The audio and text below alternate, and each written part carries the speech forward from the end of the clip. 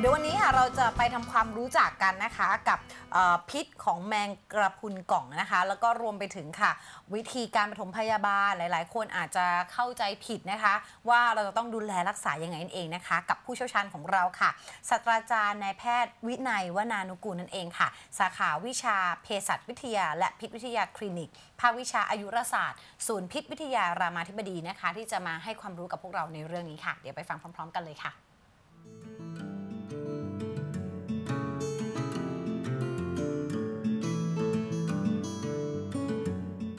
าสตราจารย์นายแพทย์วินัยวนันทุกูล สาขาวิชาเภสัชวิทยาคลินิก และพิษวิทยา ภาควิชาอายุรศาสตร์ และศูนย์พิษวิทยารามาธิบดีครับแมงกะพรุนเนี่ยนะฮะเราเขาจะมีพิษพวกนี้เอาไว้ล่าเหยื่อนะฮะล่าเหยื่อเพื่อเป็นอาหารฉะนั้นเนี่ยแมงกะพรุนเนี่ยที่มันลอยอยู่ในน้ำมันไม่ได้มีความเคลื่อนไหวที่เร็วมากนะฉะนั้นมันจะต้องมีอาวุธที่สามารถที่จะทำให้เหยื่อของมันเนี่ย บาดเจ็บหรือเสียชีวิตทันทีนะฉะนั้นมันก็เป็นวิวัฒนาการของมันนะที่พัฒนาออกมาทำให้ตัวมันของมันเองเนี่ยมีพิษที่รุนแรงที่เวลาพวกเราไปโดนเข้าคนไปโดนเข้าก็จะเกิดปัญหาเช่นเดียวกันครับ ผลที่เกิดขึ้นนั้นเนี่ยเกิดขึ้นจากเราเรียกว่าเกิดขึ้นจากน้ำพิษที่อยู่ในตัวมันนะฮะผมขออนุญาตย้อนกลับไปนิดนะฮะที่เราบอกว่ามันมีพิษก็อย่างนี้ฮะแมงแมงกะพรุนที่มีเป็นสายๆเนี่ยนะฮะ ซึ่งในน้ำเนี่ยบางตัวเนี่ยบางสายเนี่ยสองสามเมตรนะฮะยาวมากเลยนะฉะนั้นที่เราคิดว่าแมงกะพรุนเป็นสัตว์เล็กๆนี่จริงๆไม่เล็กนะตัวใหญ่มากก็มีนะครับสายยาวๆมากๆก็มีนะฮะแล้วในสายของมันเนี่ยที่เราจะเรียกว่าหนวดก็ได้นะฮะกับทางวิทยาศาสตร์เราเรียกว่าเชนทาเคิลเนี่ยนะฮะในสายของมันเนี่ยมันจะมีกระเป๋อพิษเล็กๆๆๆๆเต็มไปหมดเลยเป็นล้านๆกระเป๋อเลยนะครับดังนั้นแล้วในกระเป๋อพิษของมันเนี่ยนะฮะ มันจะมีคล้ายๆกับเป็นเข็มหรือเราเรียกฉมวกก็ได้ ที่จะเวลาที่ไปกระตุ้นปุ๊บนะฮะมันจะยิงออกมา ยิงเข็มเนี่ยออกมาฮะแล้วในตัวเข็มนั่นเองก็จะมีพิษของมัน แมงกระพรุนแต่ละชนิดก็จะมีพิษที่ต่างกันไป รุนแรงมากไม่รุนแรงมากก็แล้วแต่นะแต่ว่า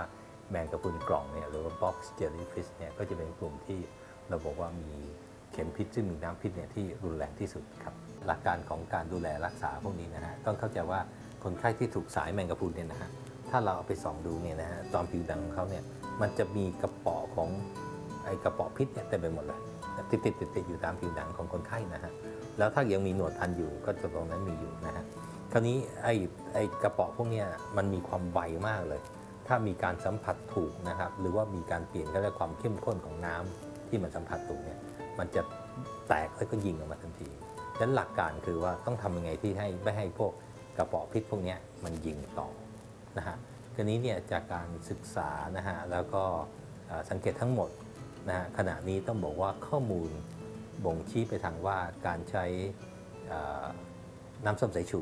นะฮะจะได้ประโยชน์มากที่สุดนะในกรณีของแมงกะพรุนกรองนะฮะว่าน้ำส้มสายชูที่ราดเข้าไปเนี่ยมันจะทำให้พวก กระเป๋อพิษทั้งหลายเนี่ยมันไม่ทำงานนะไม่ทำงานไปนะอันนั้นอันนั้นฉะนั้นวิธีการดูแลรักษานะฮะพวกนี้ก็คือว่าเมื่อเราเจอคนไข้พวกนี้ต้องทำยังไงที่ทำให้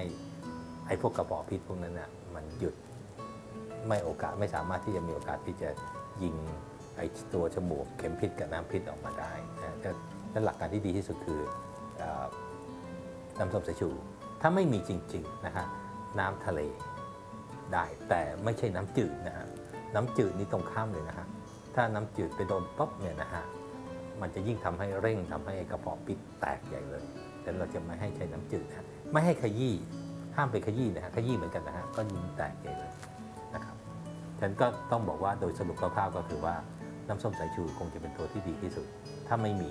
นะฮะก็คือน้ำทะเล แต่ไม่ใช่น้ำจืด